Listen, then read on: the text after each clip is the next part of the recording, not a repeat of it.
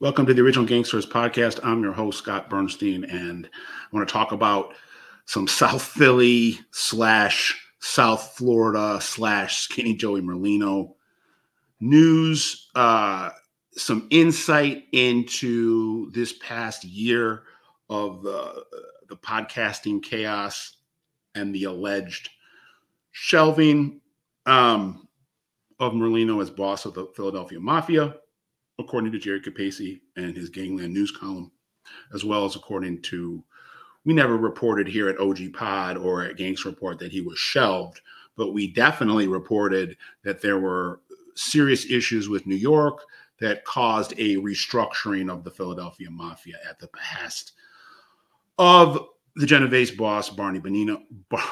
The Genovese boss, Barney Bellomo, and Gambino boss, Lorenzo Mannino. Um, and then we're going to segue now into some, I think, lost context. And I want to kind of explain why there was a delayed reaction between when Joey launched the pod in August or early September of 23.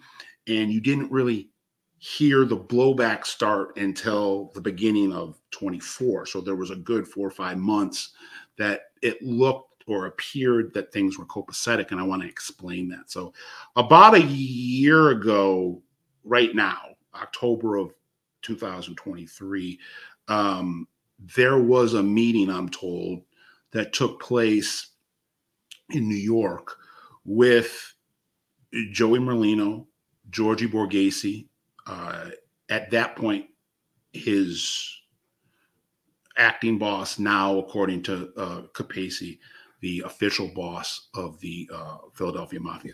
And they met with Lorenzo Mannino, I'm told, and his underboss, Lenny Di Maria. And this was a meeting to discuss what was going on in the pod and for him to touch base with the the bosses in New York, and he can sit there, and his defenders and propagandists can sit out there and um, say that they don't, you know, Philadelphia doesn't have to do what New York says, and Joey can do whatever he wants, which is true. That part's true, um, but that's not true about the Bruno Scarfo crime family, and and it's shocking that there are people. I know it's 2024, so you got to put that into the conversation, but this is kind of like tradition or history. I mean, uh, the Genovese and and particularly the Genovese uh, have had a lot of input. The Gambinos, a lot of input um, to the point where you could almost say they were puppeteering. You know, John Stanfa became boss in Philadelphia not because the Philly mob wanted him, because the Gambinos put him there. Um, Nicky Scarfo became boss of the Philadelphia Mafia, not because really that the Philadelphia guys wanted him. It was because the Chin wanted him.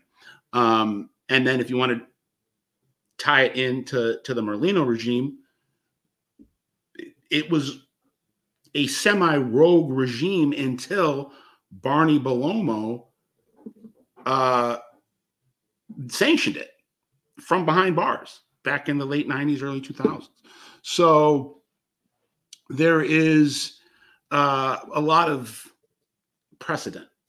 And the fact is, he, Joey, um, in his uh, politicking in the launching and then the immediate aftermath of, of the podcast going live and the skinny brand, which, you know, here at OG Pod, we give we give credit where credit is due. Uh, credit is due, and um, in terms of a, a, niche podcast, I think it's it's done really well, and he's created an audience for himself and a platform for himself to do what he feels is the best thing to do, and and and uh, his kind of bully pulpit and his ability to kind of speak for himself and speak for other people that he feels don't have a voice and uh, little snuff his his sidekick uh is is pretty um he's good on screen. And I know that they both don't like me, but hey, uh, I can again I can give credit where credit is due, and I think they do a good job. But nonetheless, you know the ramifications are the ramifications, and there was this meeting that took place last last October, and at that meeting, Joey Merlino assured Lorenzo Mannino and Mannino was speaking for the bosses in New York that this was this pod was not going to veer into and remember how this pod has evolved. It started as just a sports betting podcast. And that's what he was saying this was going to be. It wasn't going to be a platform to attack the government, attack um, his, you know, his enemies, perceived or real, uh, go after uh, any variety of of kind of hot button topics that went beyond predicting outcomes and and betting spreads of, of football and baseball and basketball games. So that's what was said at that meeting. And, and there was a tacit, okay, we'll see how this goes um, from Mannino. Um, but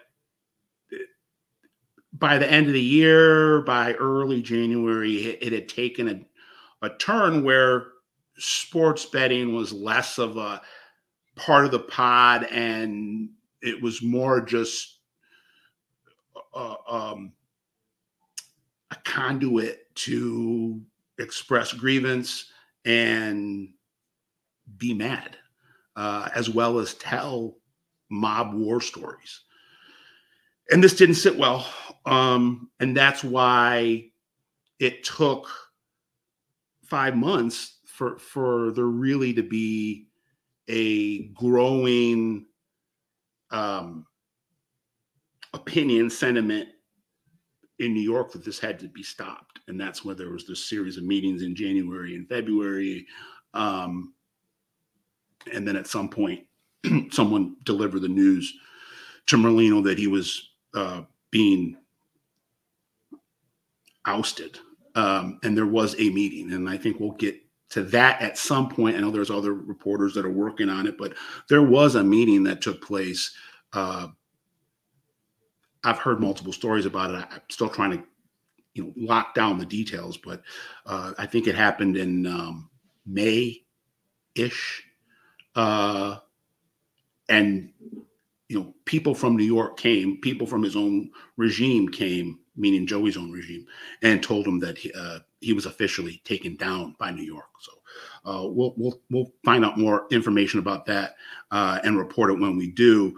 But uh, there was this meeting in October of 2023 between Merlino and Mannino, where Merlino promised that he was not going to turn the podcast into a mob spectacle. It was going to just be about who you're betting on for your NFL games and your college football games. And that didn't really stick.